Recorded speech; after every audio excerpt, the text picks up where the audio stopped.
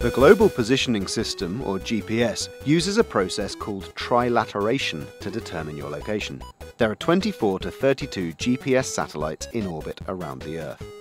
Each of them is broadcasting regular pulses of microwave signals containing data about where the satellite is and the precise time the signal was transmitted.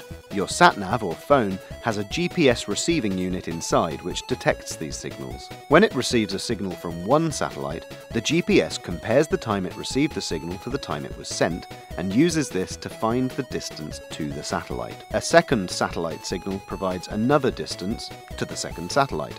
Now the GPS unit can calculate its approximate location in relation to the two. Signals from subsequent satellites narrow down that possible location even further. Technically, a minimum of four satellites are required to determine your location accurately. Because of the way satellite orbits are coordinated, your GPS unit should be able to see between four and eight satellites at any one time. The GPS calculates this information as sets of coordinates latitude, longitude, and altitude. The computer then cross references this data with its own software to plot your location on a map.